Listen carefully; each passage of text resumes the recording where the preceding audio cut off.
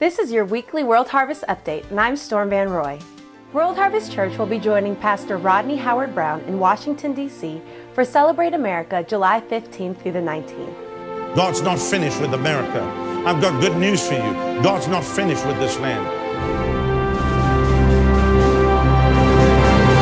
We are believing God for another great awakening. The problem is, God's been taken out of this nation. There's no respect for human life, no morality. God's been taken out of schools. We've got to see a change. Because I know that the time is short. And I know that it's two seconds at midnight. We must run now. We must carry the gospel. We must run as never before.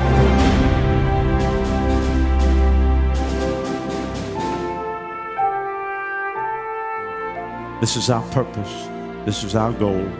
Igniting a generation for a nation to fulfill its call. America.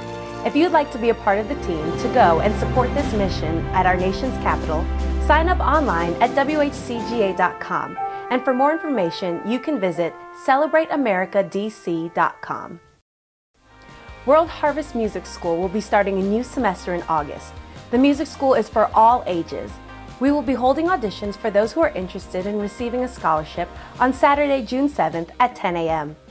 If you have a heart for music and for worship, this school is for you. Sign up in the bulletin today. If you have a child that's in the third, fourth, or fifth grade, then you will want to sign them up for Fusion Camp. The dates are June 23rd through the 27th. The theme this year is an open heaven. If you're interested, sign up in the bulletin. We are excited to have Ted Shuttlesworth here from June 8th to the 13th. We will be meeting every night at 7 p.m. Many people receive healing in Brother Ted's ministry, so be sure to come and invite a friend. And now, a few ministry highlights.